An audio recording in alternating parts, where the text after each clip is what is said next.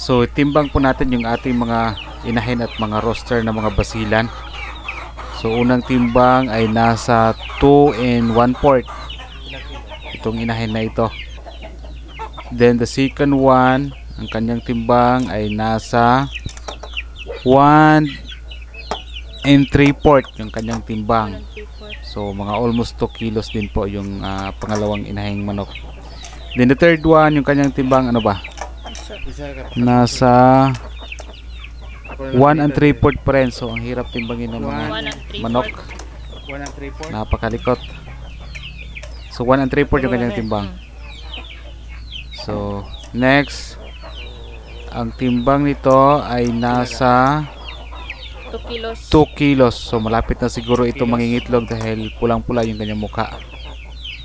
Oh, 2 So, ah, so to be exact, isa 2 kilos yung kanyang timbang ng ating inahin na mga manok. Ayan. Then the last one, yung kanyang timbang ano ba? Nasa Three- 1 and 1 half. fourth. Konti na lang yung kulang 1 and 3 port na siya. Ng pinak yung inahing manok. So, yan yung timbang. Tapos, titimbangin din po natin yung ah, roster na ginagamit ko sa kanila. Ito, pure basilan ito. Galing ito kay Sir Juman. So, ito. Nagamit natin ito for 4 months na siguro ito na roster. So, yung kanyang timbang is ah, to be exact talaga na 2 and 1 half. Pure basilan ito na roster na ginagamit ko sa kanila. Yan. 2 and 1 half. So, napakalikot nitong manok na ito.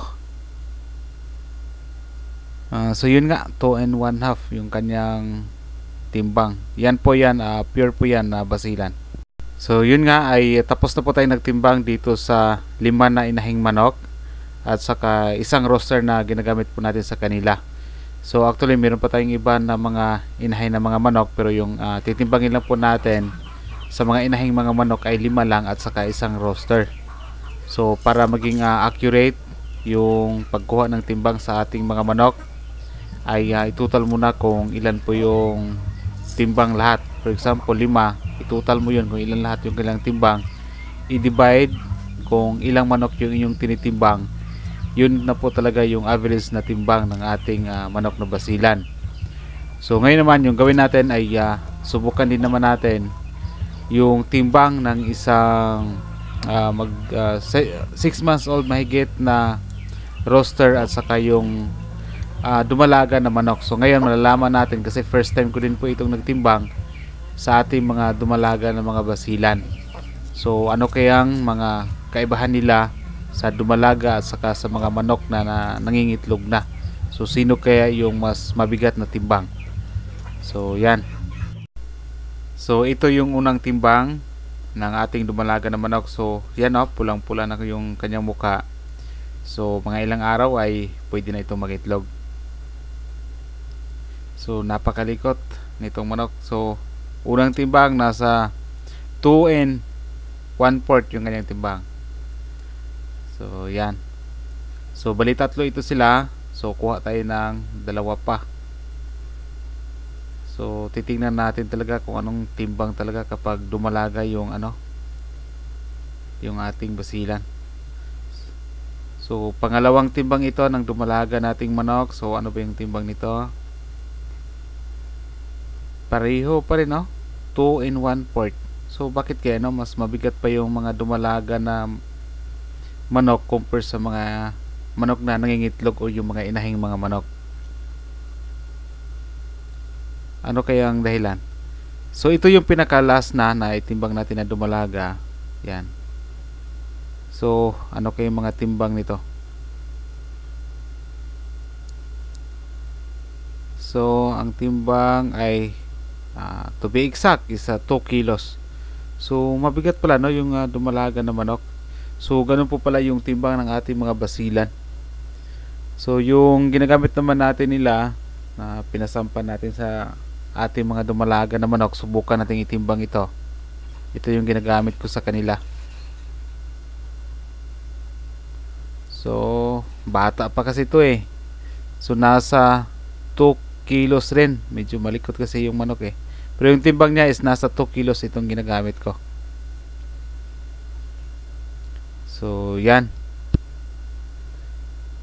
So, so ang ganito mga manok ay napakalakas kumain. So, yan. So, itimbang natin muli. Para makuha natin yung exact na timbang nito. 2 kilos to. So, yan po yung ginagamit sa ating mga tatlo na mga dumalaga na mga basilan. So, yan. So, 1 is to 3 yung ratio natin ngayon para mas mataas yung hatching rate ng ating manok. So, ito yung last one roster na ititimbang natin. Yung kanyang timbang ay nasa 2 in 1 port yung kanyang timbang. Pero ito mga roster na ito ay ginagamit ko na sa iba ng mga inahing mga manok. So, mga almost mga 4 months ko din na ginagamit to sila. Yan. 2 in 1 port yung kanyang timbang. So, ito mga basilan din to. So, yan. Actually, marami pa akong mga roster dyan. Pero yung itimbang na lang natin kung ano lang po yung nandyan sa kulungan.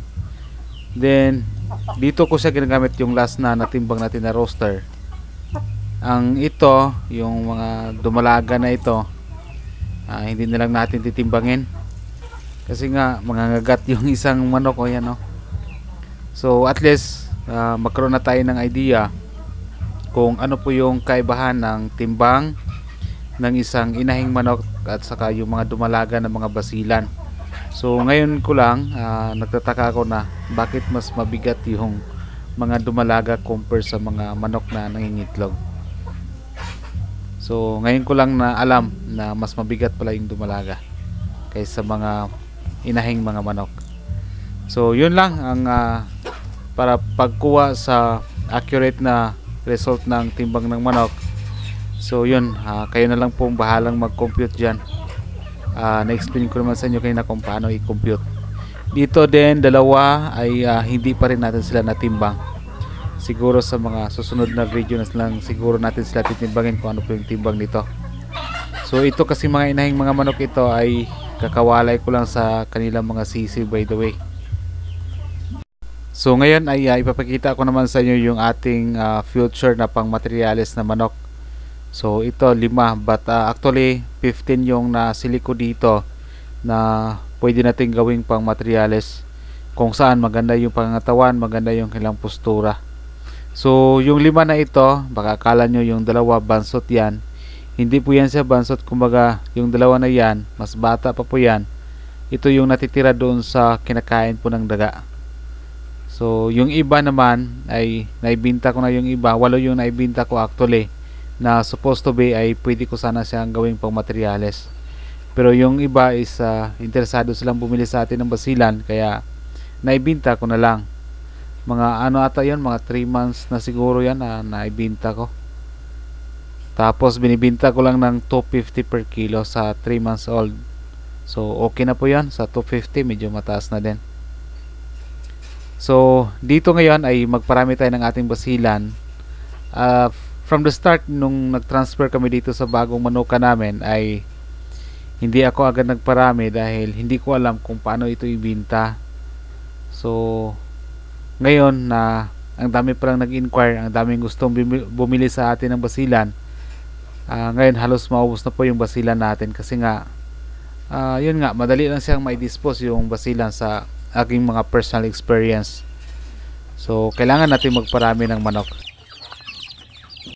So, may mix na ito na carrots, oh? Carrots at patatas. Mekos-mekos mo na. Pure peach at saka may mix na gulay. Patatas at carrots na Blender? ah naka ano siya naka-chop, naka-grinder. Yan.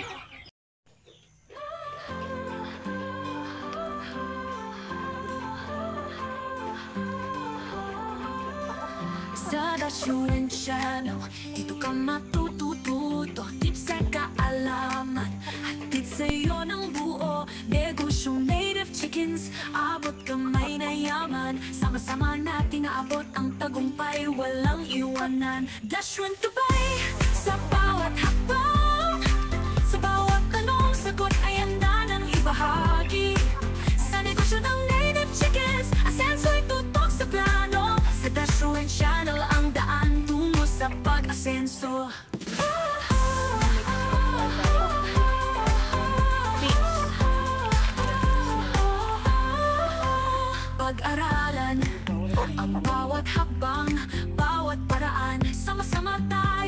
success, walang kapantay. Kaalaman ay hatid para sa lahat. Sa Dashuan Channel, pagharap mo'y abot kamay na dapat. Dashuan Dubai, sa bawat hakbang Sa bawat tanong, sagot ay handa ng ibahagi. Sa negosyo ng native chickens, asenso'y tutok sa plano. Sa Dashuan Channel, ang daan tungo sa pag-asenso. Dashuan Channel,